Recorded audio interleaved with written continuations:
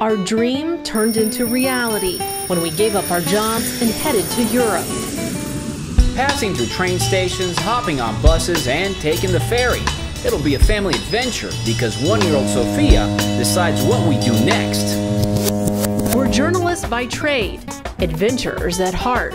And food lovers like everyone else, sharing our experience with you. So hop on board and follow our travels. This is the Great Escape Plan. In Fira Town, the main center of Santorini, we join Chef Giorgos Stakias and prepare some of his signature recipes.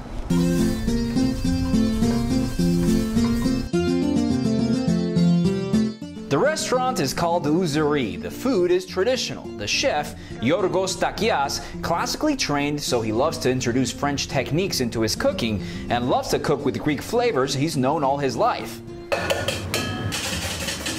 We start off with a fried manouri cheese. This variety comes from sheep's or goat's milk. It's semi-soft, white, and creamy. Think of it as a less salty feta cheese.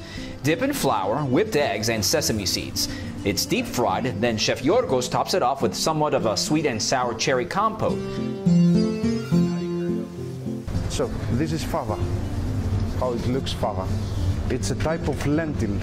The chef has it already pureed after he boiled them with olive oil and onion. Putting his own spin on the dish, he forms it in a mold, tops it with sliced red onion, garnishes with a caper olive oil mousse, very Santorini in flavors. The final touch, lemon juice to drop on top. This is fava. Dish number three is codfish, simply seasoned with salt and pepper and sauteed skin side down first.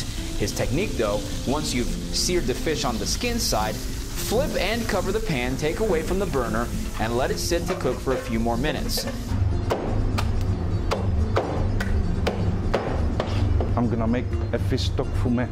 These fish bones are for the sauce. He now makes a mirepoix from carrots, leeks, and fennel. I want to give some more flavor of anise in my sauce.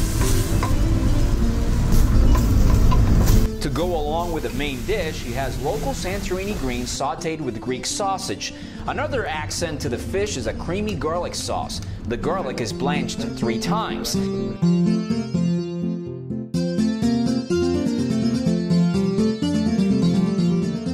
So very typical of how the Greeks eat. All the food is on the table. We have different plates here. This one it's a traditional, typical traditional dish of Santorini.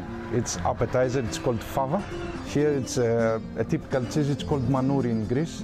The code it's fresh caught fish and it's called bakaliaros skordalia. So now that we have all the food, all we have to do is eat. Yeah. How do you say that in Greek? Kaliorexi. Kaliorexi. Sophia. Oh yes, Sophia did chow down on the fresh codfish. Ouzeri restaurant where all families are welcomed, and you'll also have a taste of great Greek food.